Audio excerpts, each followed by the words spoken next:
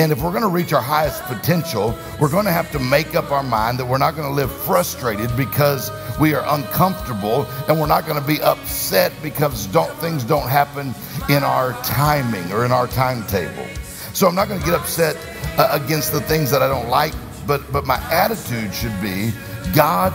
I trust you and you are in complete control.